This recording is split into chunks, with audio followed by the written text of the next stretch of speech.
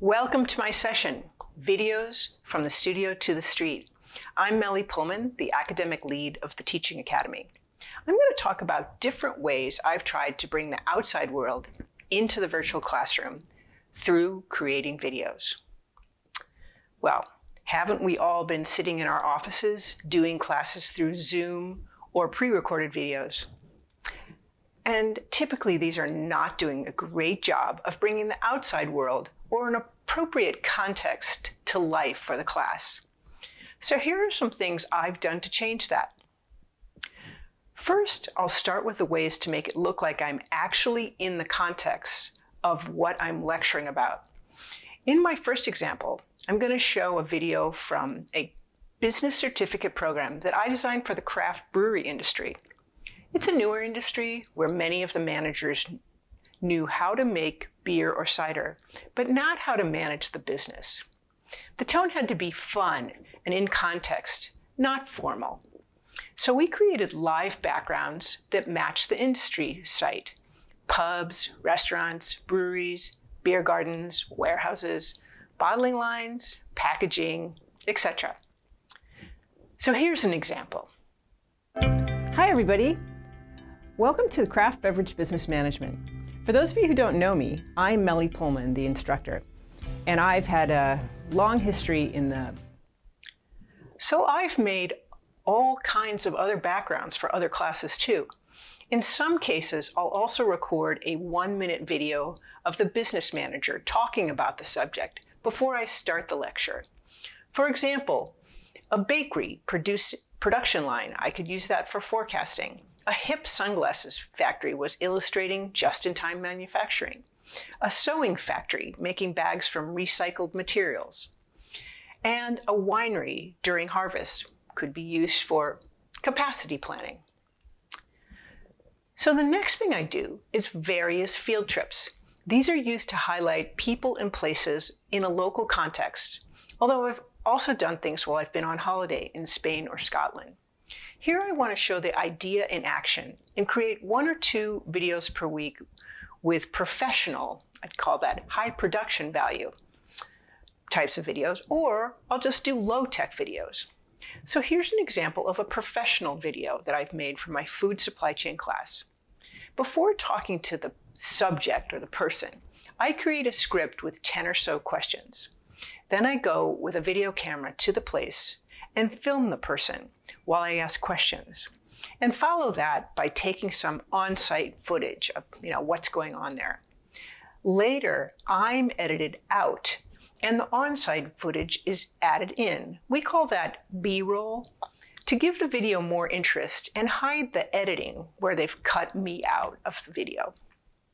So here's an example of that.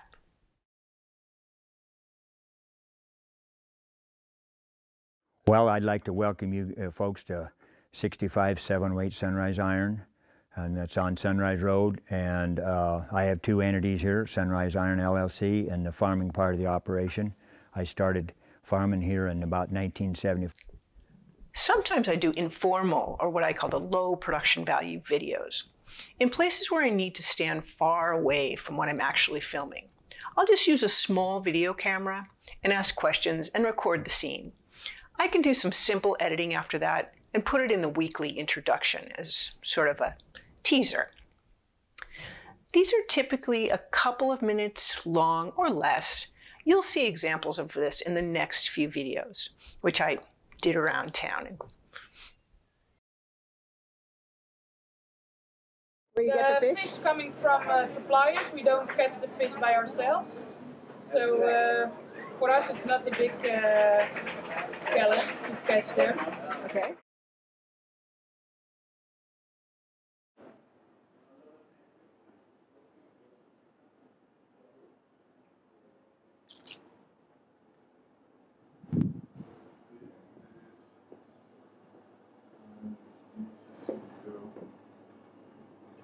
Was voor die zoek?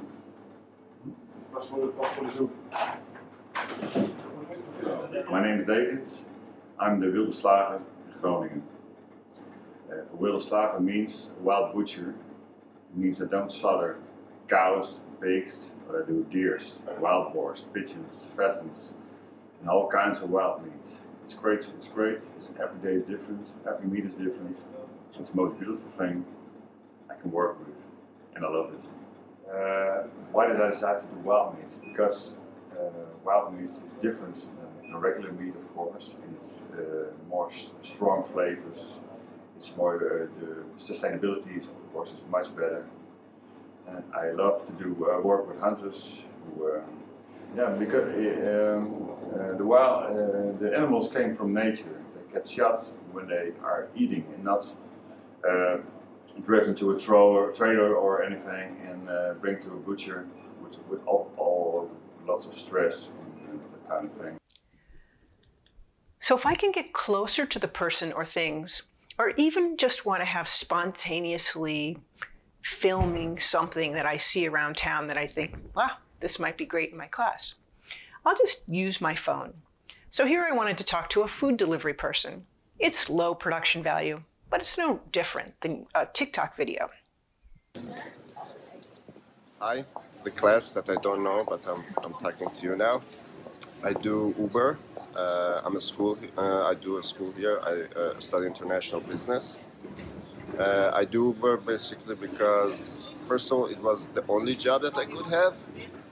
But I think uh, it's okay now. I kind of like it because I'm just my own boss. I don't like to work for anybody else. And I like cycling, see the city, and I might as well make some money. So that's, that's my motivation basically. To do these things, you can start small and build up. Everyone has a phone to make short videos. But if you want to go up in flexibility, then you can get a low cost video camera. You'll get more professional quality with a good microphone and supplementary lighting. My more professional field trip videos have this. And for integrating backgrounds into lectures, you'll need a green screen when you film. It's inexpensive. It also helps to have a teleprompter set up and acoustic improvements to the room, but those are more expensive and you have to really be committed for that. Finally, you should consider the long-term versus the short-term use. Lecture videos are longer lasting, so I invest in higher quality. It's great to have a studio and have editing support like we have here at the university, even a camera person. But great videos can come from home settings too. I make high quality field videos over time and replace them as they age out or mature. The topic's maybe not so relevant. But the low production value ones are perfect for really timely issues, current topics. They're fun and the students like them. I hope I helped shed some light on some fun ways to bring the outside world into the classroom. Thank you.